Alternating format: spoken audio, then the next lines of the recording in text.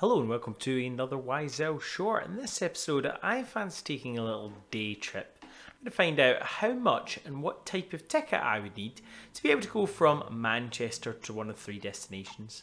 For this, I'm going to use the National Rail website where I can enter my starting location, ending location, click on go, and then find out those prices. First thing I'm going to need to do, I will of course need the URL and I'll need to open up a copy of Power Automate. Next, I'm going to go down to Browser Automation. I'm going to launch a new copy of Chrome. And the initial URL I would like to go to is the National Railway. I'm going to click Save. Now I need all of the details from the Excel document. So go down to Excel. We want to launch Excel.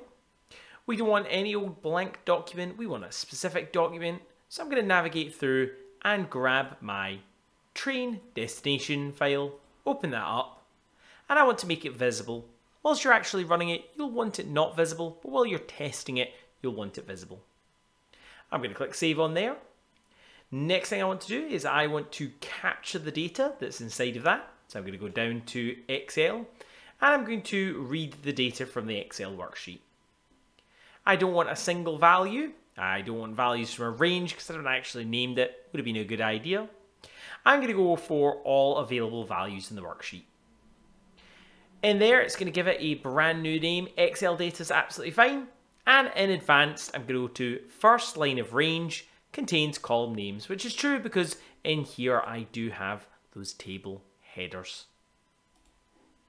Click on save. I want to do something to each row in here. And to know how many rows I've gone over, I'm going to need a variable to keep track of that. So under variables, I'm going to go down to set a variable. And I'm going to set my variable at 2. One would be the headers, 2 is going to be the second row, which is going to have our first value in it.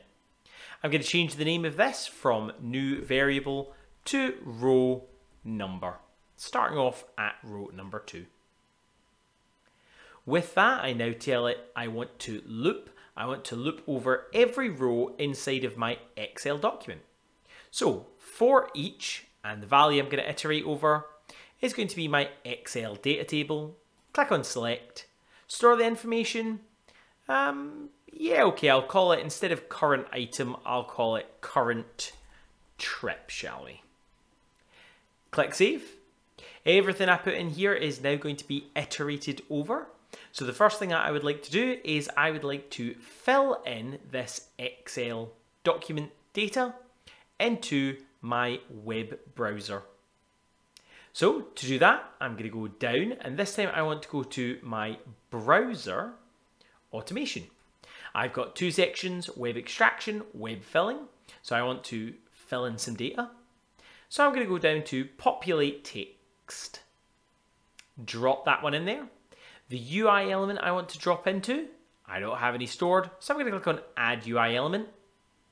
And in here, holding Control, I can capture the information I want to populate. I want to populate the from, I want to populate the to, I want to go to the next page,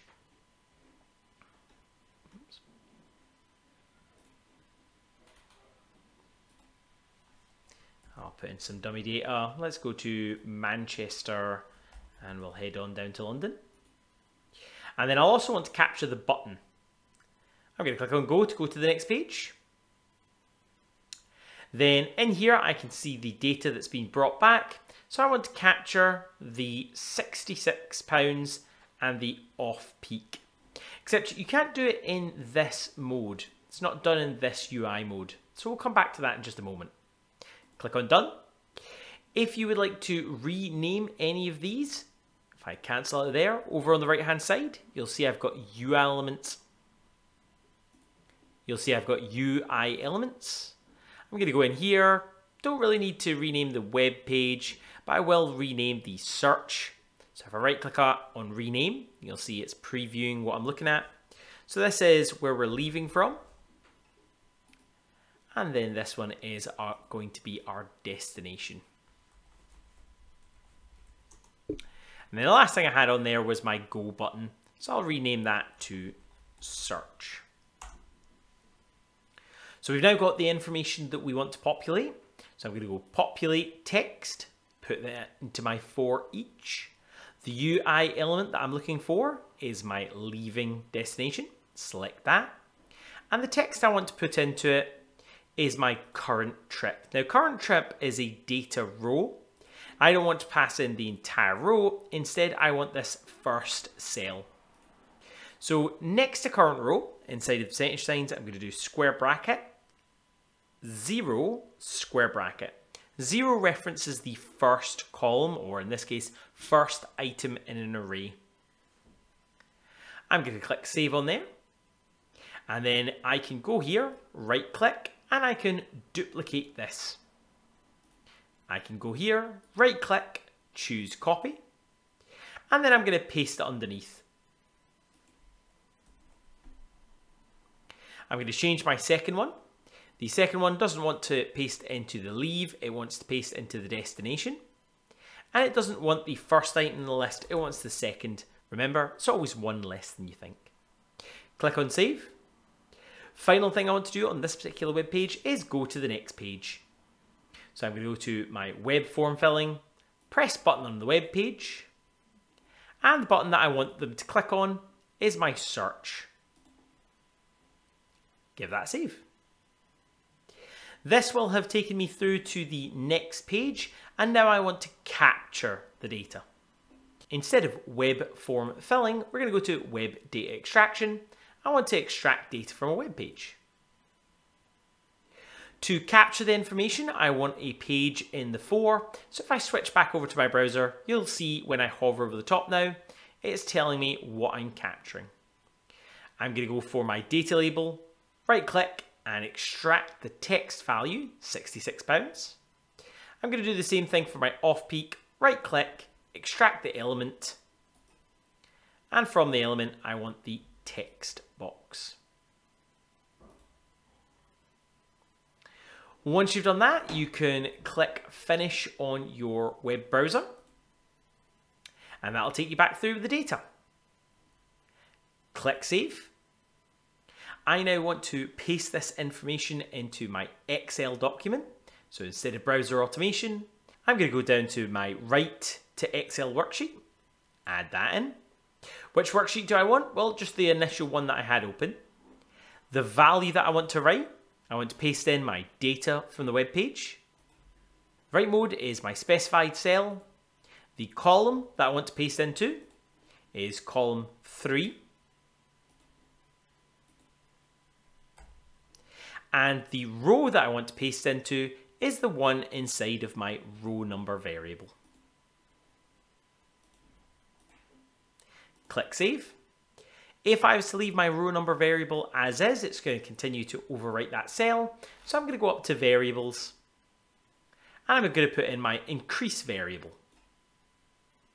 I want to increase my row number variable by 1.